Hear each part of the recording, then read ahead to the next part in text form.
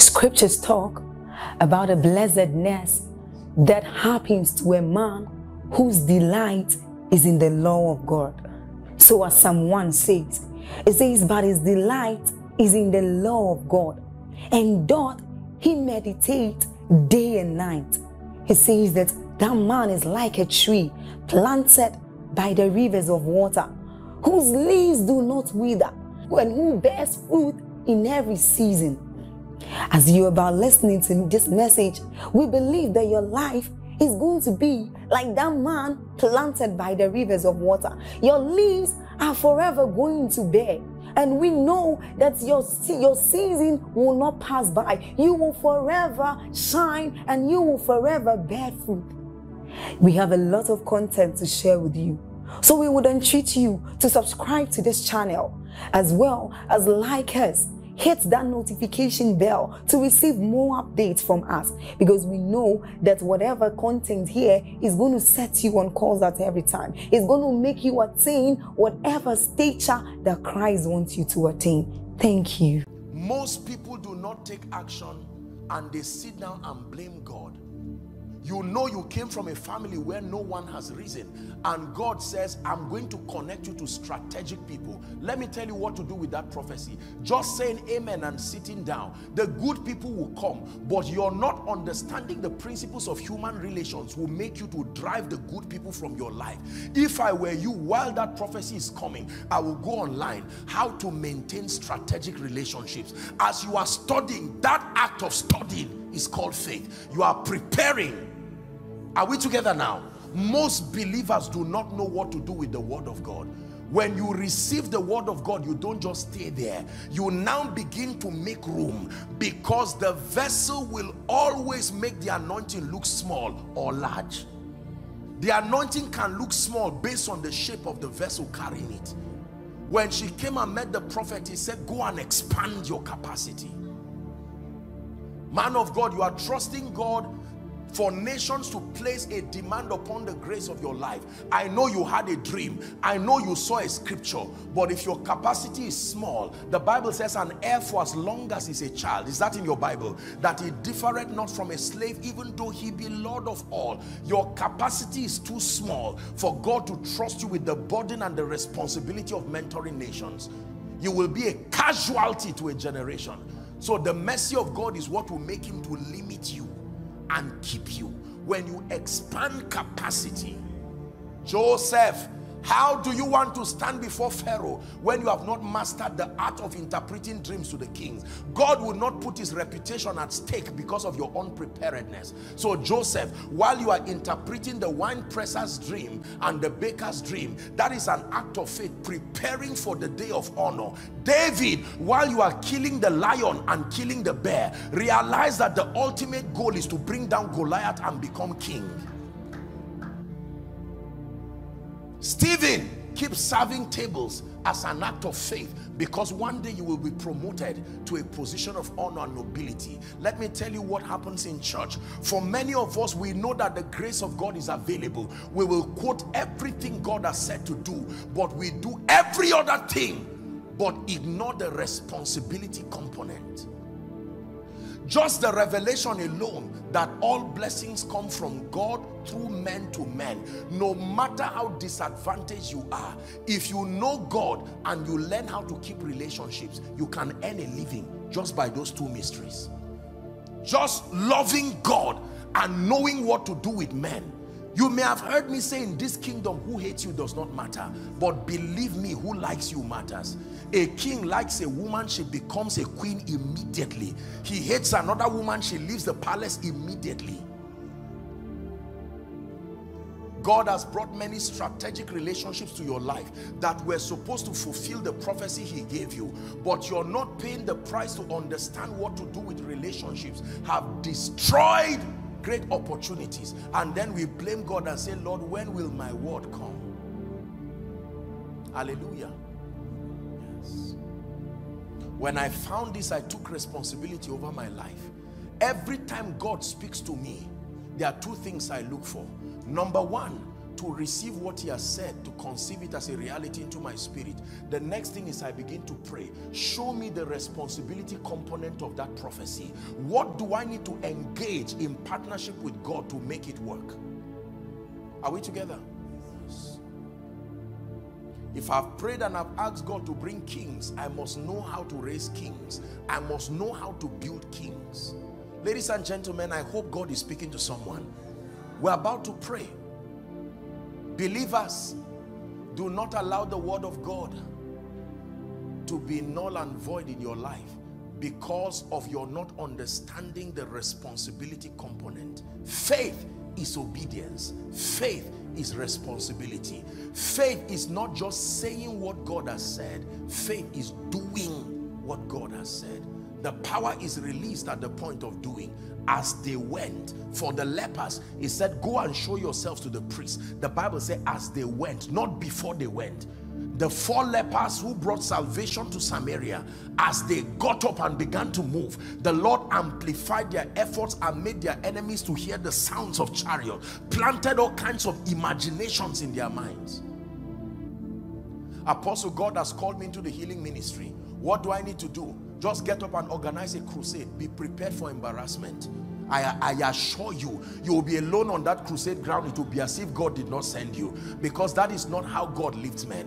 When God tells you he's giving you a healing ministry, the first thing is to take time and believe it into your spirit. Then number two, look for them who through faith and patience, there are always some them to follow because Jesus increased in wisdom, in stature, in favor with God and with men. In spite of the fact that he was called a savior, he could not be savior as a baby.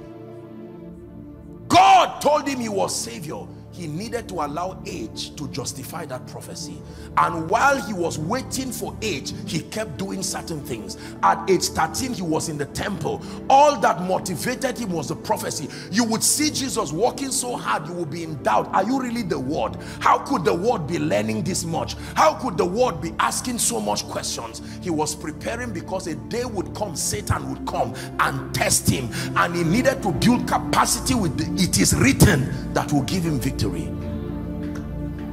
Show me what you are doing James said. Show me your faith without works and I will show you my faith by the works I'm doing. Are we together? Most people are not partnering with prophecy. I submit to you ladies and gentlemen behind every champion who who you see the grace of God working in their heart is an investment of diligence. Diligence. When I heard the song that um, Solomon Lange was singing here. I've not even heard that song. I say, ah, these people, they keep bringing songs. Now, I know that you say the grace of God has worked, but go and find out when people sit in the night while you are sleeping, writing songs. You know how many sermons I prepare in a week? You have no idea. Believe me. I've not slept for up to two hours or three hours. In truth, I will tell you, from yesterday into today. There's service in the evening there are several other things to do. That's how the grace you are talking about works. There are many lazy people wanting multiplied grace out of nothing and wondering why destiny let me tell you people who acknowledge the working of God's grace have the power to force any door that closes. There's no time discussing anything. When one door closes they force another one to open by faith. Show me a man you think has the grace of God and behind the working of that grace I show you diligence as proof of faith diligence in prayer. Diligence in the study of the word. Diligence in building capacity. I came into your church and i saw excellence. I saw everything being done right. That is the grace of god working upon your man of god. I am what i am by the grace of god paul said but this grace was not showered upon me in that i labored more than ye all. Yet not i but the grace of god. This was the testimony of the man who was an epitome of grace. Businessman let me tell you you have not allowed the potential of the grace of God to speak in your life truly. You know why? Because you have not backed it up with obedience diligence. Show me the business book you have read as proof that you believe you're a kingdom financier. Show me the millionaire you have honored and sat under to constructively lend mentorship as proof that you want the word of God to work in your life. Young man, I'm not excelling in ministry. Show me who you have submitted to learn to understand the principles of ministry. What do you know about organization? What do you know about leadership? What do you know about people skills? What do you know about homiletics? The sound exegesis of scripture. What do you know about managing the variety of people? What do you know about excellence? Don't say no member is coming to your church. God is not a fool. Are, are you learning now? I hope I'm not too harsh. Sorry, eh? we apologize after the grace, but I need to press this into your heart. I come and I see the shop that you are saying is global. It is dirty, it is unkept. You wake up by 10 o'clock you close by 2 o'clock for a flimsy reason of a running stomach and there's someone in your house i come to buy something in your shop it is closed. And yet you are there saying apostle thank you thank you so much. Apostle why is it that God is not lifting me? I want to be like Walmart. I want to be like these guys. Go and see how people make use of the grace of God by engaging faith you have a healing meeting tomorrow you are watching football in the night. I know god will do it. I'm not the healer. You will be disappointed and surprised by the next day. I'm not being sarcastic. I'm showing you what unbelievers do even without the backing of grace and what many believers do not do the diligence component of faith is what we need to obtain grace to return back in. Go and sweep your one room as proof that you believe God will give you an estate. Go and dress it and make it look like the palace you are trusting God to get to.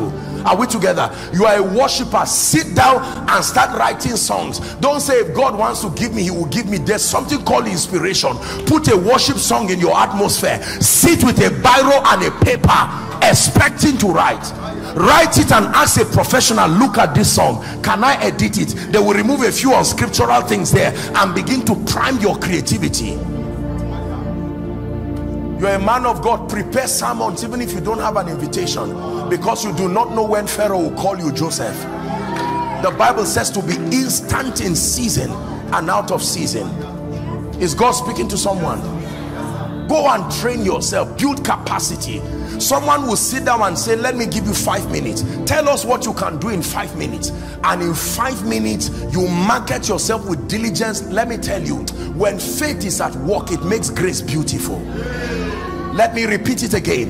When faith is at work it makes grace beautiful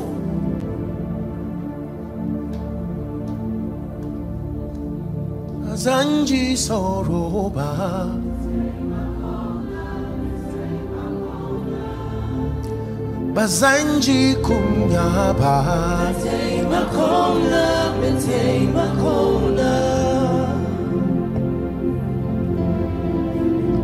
this is how we were taught how to put the grace of God to work. So every time God speaks he said my father walketh hitherto I walk my father walketh hitherto I walk.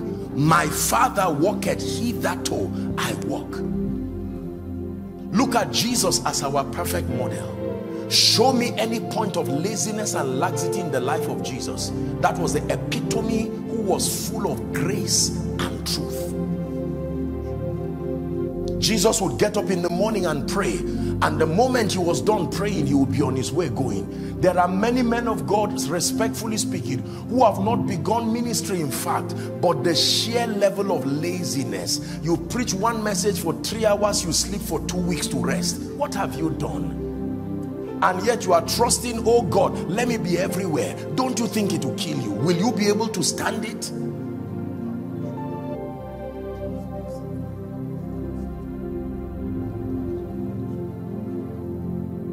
Esther, I know God told me one day I'll be sitting near Ahasuerus. With this version of you, you are joking. Go and look for Hegai, the man who transforms Hadassah, the village girl, to Esther, who is worthy of Ahasuerus.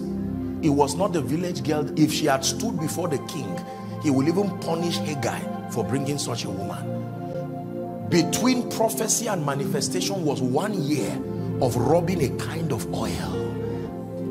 Hegai called her and said, forget what the other women are doing.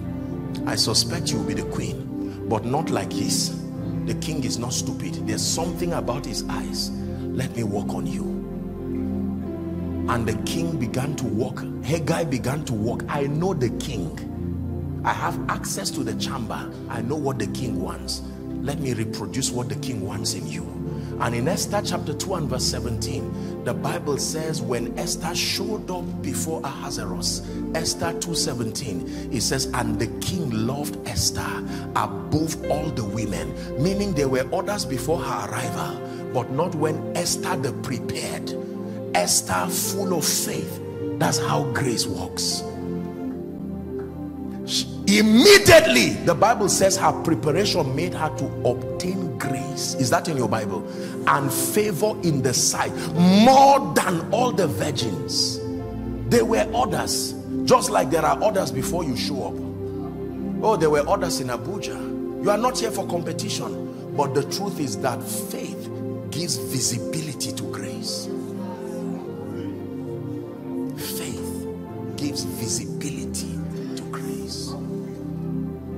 There are people, I came in and I saw so many people outside. You are watching, you are following me right now. You left your homes. Some of you bent over backwards to be here in this conference. Did you know that your act of leaving your home, sitting in the sun, sitting in this place is an act of faith? It is proof that you know God will not leave you the way you came. How could you go back the way you came? You have done your own part by coming I'm sure there is a man of God here who left everything to come and sit down to say, Apostle, I know there is there is a kind of oil, there is an anointing that I'm looking for. Maybe a music minister who has come here saying, Listen, doors don't seem to be opening. But if you just sat down there lazily and said, Well, I know after all, God can come and meet me in my room, it doesn't work that way. You have come. So, in the next five minutes, as we pray, that that grace will rest upon you now that you have activated it through faith. Ask any great man they remember where God took them from. Everywhere that I go everything that I do all I see is grace. Everywhere everything that I do. Hey, all I see is I like I like the Hausa version of that song. Have a mama kine. You see, this grace, eh? In one day, when the grace of God is truly allowed to find expression, the grace of God can take the prayer request of a man's lifetime. I really mean it without exaggeration. And bring it to the faith of one who walks by faith not one who is just waiting for it to work. there are testimonies that will not it will not be wisdom to share some things here because it would destroy the goal of what we are doing. There are testimonies that motivate there are testimonies that can discourage again if not managed but believe me when I tell you, there is no limit to what the grace of God can do. When that grace meets faith at work. Most of us have abused the grace of God because the faith component, faith there meaning your obedience, understanding the role you have to play in actualizing this. Anything you find in scripture, don't just say, I receive alone. Go back and say, what is the role I have to play? Joseph, if God has told you that you will be a prime minister, behave yourself wisely. Conduct yourself well and take care of the wine presser and the baker in the prison because they will be the ladders who will speak to the king for you. Daniel, make sure you purpose in your heart not to defile yourself with the king's meat according to 1 verse 8 Daniel make sure you behave yourself wisely because you are going to be a ruler even through the dispensation of about four to six kings Shadrach, Meshach and Abednego if you believe in the God of heaven then make sure you do not stand and compromise bowing down to that stature even if it will cost you your life.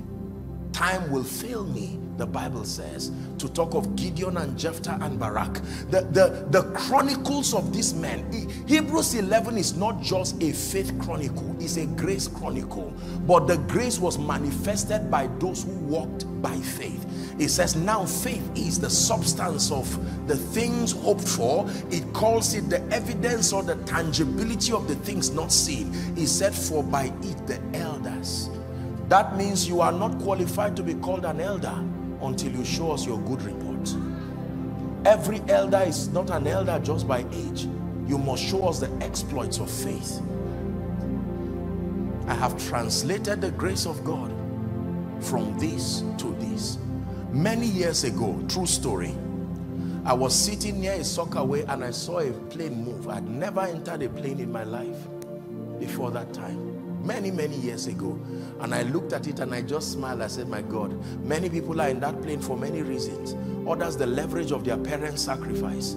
Others, corruption. Others, wickedness. Others are terrorists going to destroy other people. Many reasons. And then I remember the Lord spoke to me and said, my word will put you in this.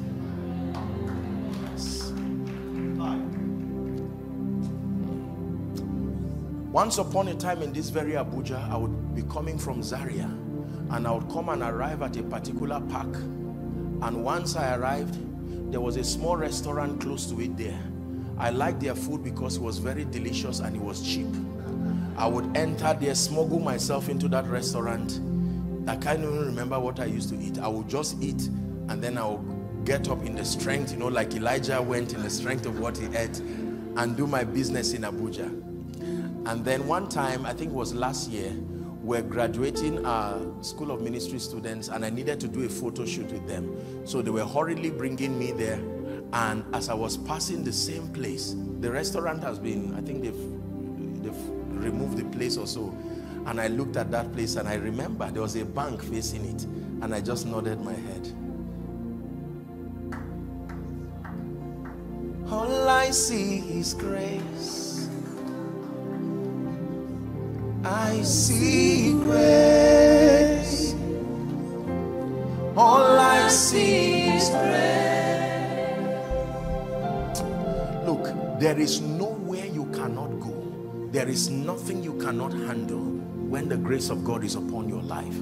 I will tell you again, ladies and gentlemen, we are what we are by the grace of God, but that this grace was not showered upon us in vain, in that we took advantage of the consciousness of the provisions that come by grace, and we acted upon it in obedience by faith. So here's how the Bible puts it by grace, through faith. By grace, through faith. One more time. By grace, true faith. The assignment of grace is to give you access. The assignment of faith is to give you possession. You need access and possession to equal experience. It is access plus possession that equals experience. By grace, we are saved.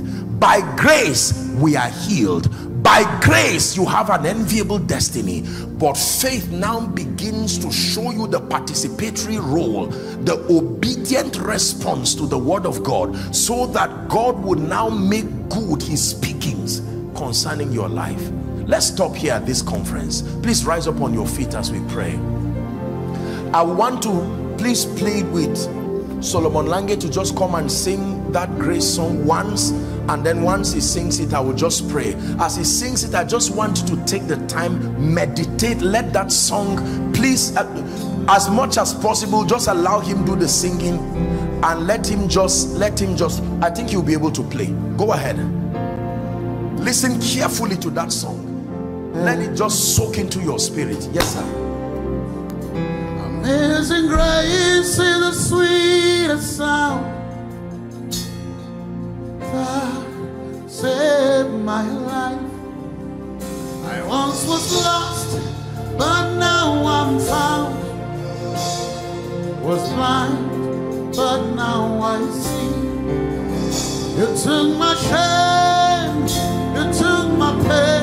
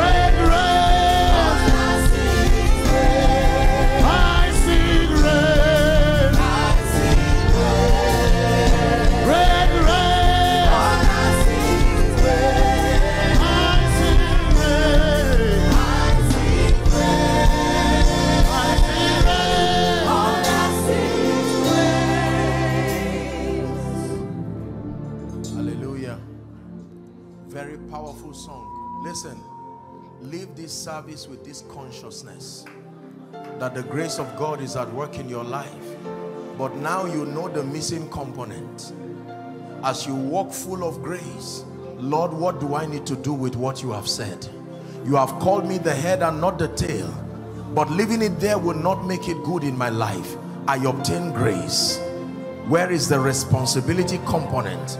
And it's interesting that I taught you that there is a dimension called the enabling grace. There is an energizing from the spirit that empowers you to now do, to now walk, to now pray, to now study, to now give your very best. Wherever you are in the next one minute, I'd like you to cry for the grace to do, the grace to do. Go ahead, lift your voice and pray. Grace for total obedience, total obedience. That all you demand from me to do to make good your word, I obtain grace. Someone is praying. Olive Brook, are you praying? Those outside, make sure you are praying. Following by way of the internet, make sure you are praying.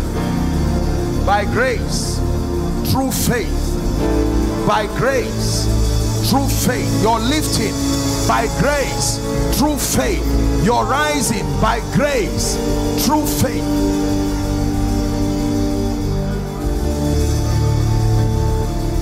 Hallelujah. Hallelujah. Faith is your action of, of obedience that you take based on your conviction on who God is and the integrity of his person. Our time is fast spent. I will just speak over your life and then we're done. And in speaking, we'll just do it at once. I will just speak whether you are trusting God for healing, you are trusting God for an open door. Prophetic declarations are powerful. The Bible says, and by a prophet the Lord brought Israel out of Egypt, and by a prophet they were preserved. Prophetic words are not just pronunciations. Prophetic words move beyond the realm of your hearing to the realm of the spirit. They program and they create possibilities. he says, I have been commanded to bless. Hallelujah.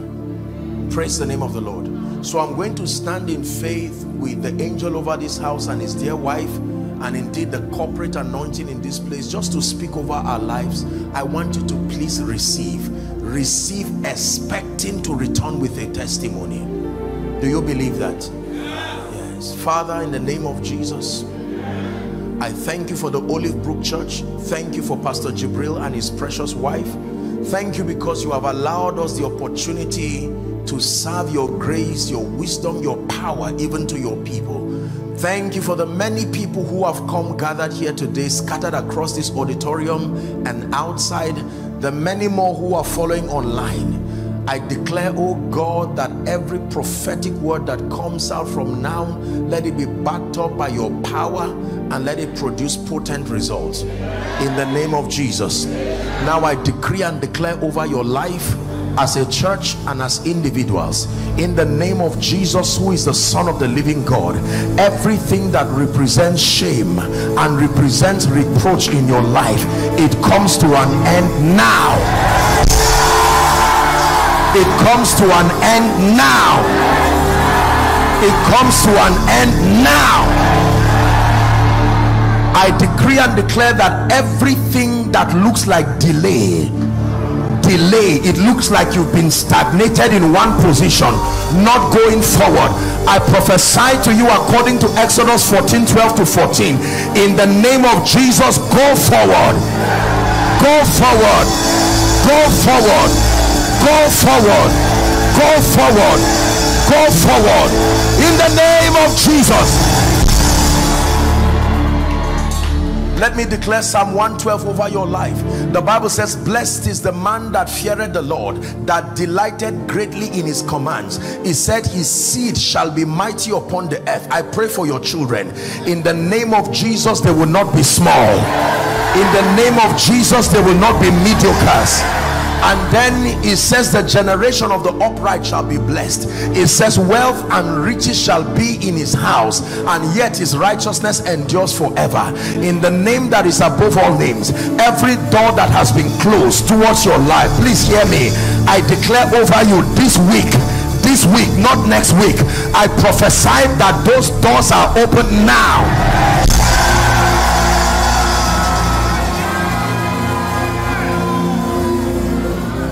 and the axe head fell and they said alas master it was borrowed. And he said where fell it? Let me pray for someone who is owing in debt or any kind of financial trouble. By the power of the prophetic i decree and declare may god use men to bring you out of that tragic situation. In the name of jesus christ the bible says and the king sent for joseph and they brought him out of his dungeon. God uses men to lift men. I don't know which human vessel has been programmed by god to partner with the spirit for your rising but in the name of jesus wherever they are i command them to show up in your life. I command them to show up in your destiny. In the name of jesus christ And David said, Is there any man in the house of Saul that I may show kindness for Jonathan's sake? And they called on a man called Ziba, sent him to Lodebar to go and fetch a crippled man called Mephibosheth. And they brought Mephibosheth, and he would remain in the king's palace forever. I decree and declare by the power of the Holy Spirit, the David that will send for you and honor you even at a global scale, I command them to show up now. I command them to show up now in the name of Jesus. The Bible says now Jericho was shut, nothing could come in and nothing could go out. There are limitations like that. They stand before you, nothing goes in, nothing goes out. They just represent an inconvenience. But the Bible says, at the shout, the seventh shout on the seventh day that the wall of Jericho fell flat and it sank in I speak to every wall that stands before you hear the word of the Lord in the name of Jesus I command it to sink and give you way to sink and give you the right way of passage in the name of Jesus Christ hallelujah There's a very interesting man in the Bible, I just spoke about him, called Mephibosheth. If you study Mephibosheth, the problem he entered was not his making, it was the mistake of a midwife. Midwives are those who help to transit seasons in your life. As he was coming out of his mother's womb, a nurse was careless. And because of the carelessness of that nurse, the man became crippled forever. The midwives that help us through destiny can leave us as mighty men or can leave us as Mephibosheths. Are we together now? I want to speak because it matters. There are men who help you to cross that river to the next level. And if they are careless and insensitive, they may cripple dimensions of your life and incapacitate you. Even though Mephibosheth was favored, he never walked. I decree and declare, everyone sent by God as a midwife, as a destiny helper, may they play their role effectively.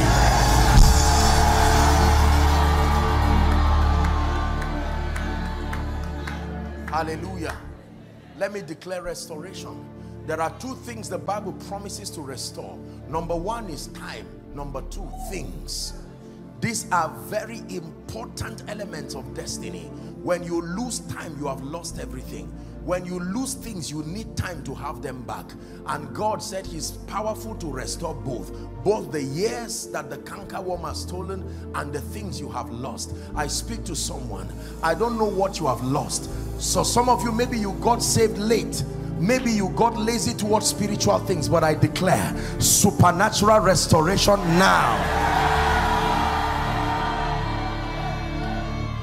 I speak prosperity to your life in the name of Jesus. By divine favor, may your hands be full. Enjoy the ministry of destiny helpers.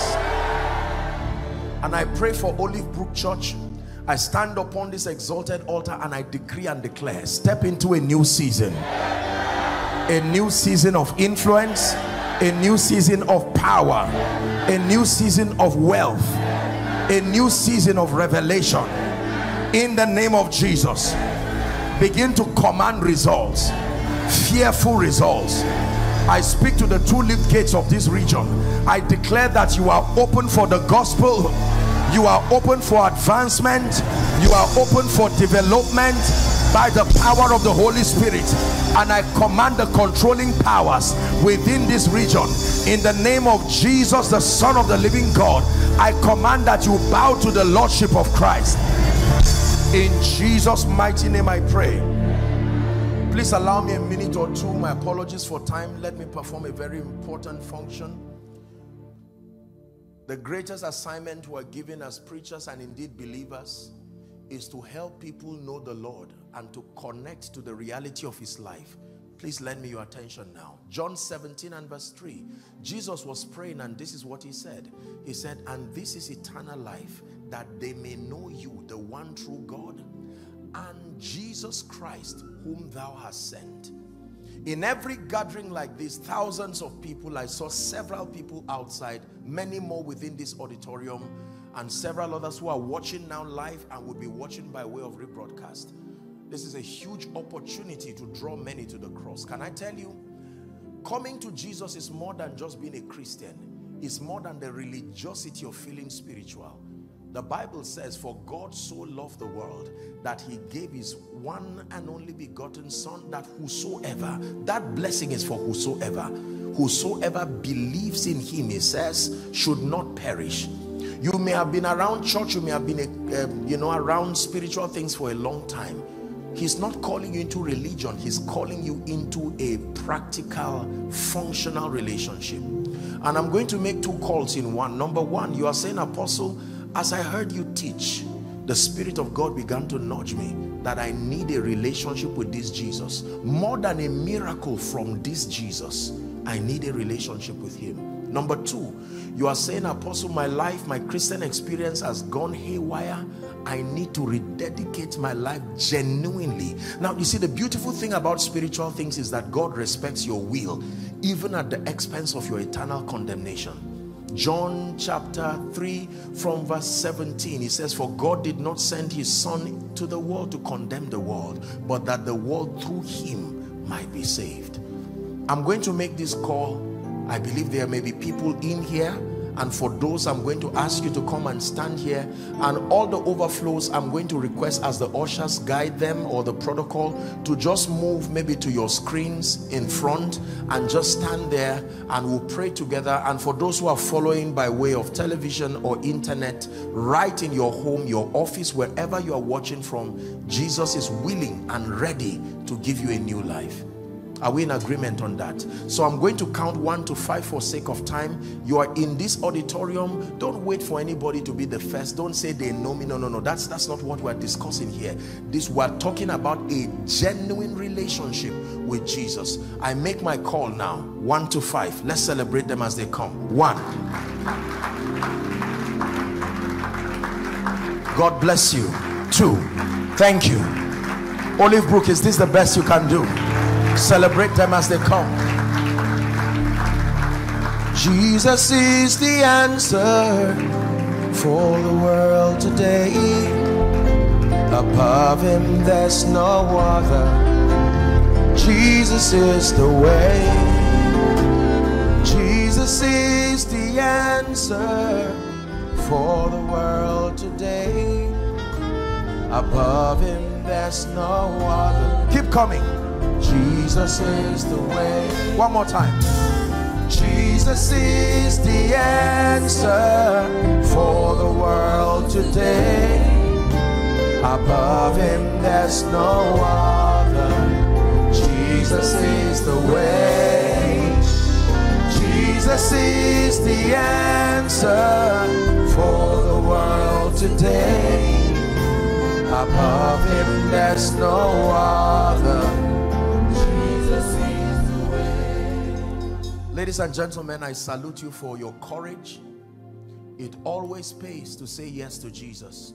We've said yes to things of lesser value. The noblest decision that any man can make under heaven is to make Jesus your personal Lord and Savior. I salute you in front and all who are scattered across the overflow. May I please request, I'm standing here in front with Pastor, please lift your right hand as a sign of surrender high above your head and please say this after me let it be from the depth of your heart. Say lord jesus. One more time say lord jesus i have heard your word. I declare that i love you with all my heart. I believe that you died for me. I believe that you rose again for my justification right now I declare that the power of sin, Satan, hell, and the grave is broken over my life. I declare that eternal life is imparted into my spirit. From today and forever, I am a child of God. I declare that the grace of God is at work in my life. I go forward ever and backward never. Amen. Keep your hands lifted. Father, thank you for these ones. The Bible declares that as many who will come to you, you will in no wise cast away. They have come acknowledging your Lordship over their lives. And I declare that the power to save is at work in them in the name of Jesus. According to your declarations and integrity of scripture, I declare your sins forgiven. And I declare that from today you are bona fide recipients of the life of God. I bless you and I declare that the grace of God is truly at work in you. The power of sin, Satan, hell. Hello, beloved in Christ. We hope this message was a blessing to you. I would want you to do something for us.